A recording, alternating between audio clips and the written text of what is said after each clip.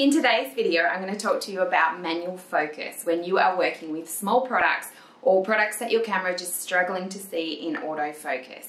It's so super easy on an SLR. All you've got is on the lens is an AF and an MF. So all you need to do is switch it over to the MF and then a really good trick is to put it completely out of focus and then slowly bring it back into focus. Your eye will naturally see the sharpness as you bring it back in.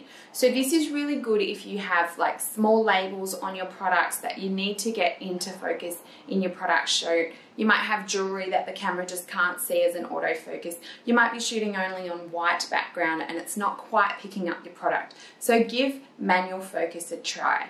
Also, if you are using manual focus and you want it to stay really sharp and really still, it's a good idea to use a tripod so that you're not moving the camera when you are um, going in and out of focus. So just give that a go next time you're shooting something that your camera is just struggling to autofocus on.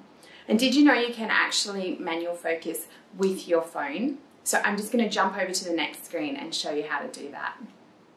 So to have control over your focus here, you just hold your finger onto the product, onto the label, until you see that AF lock come up.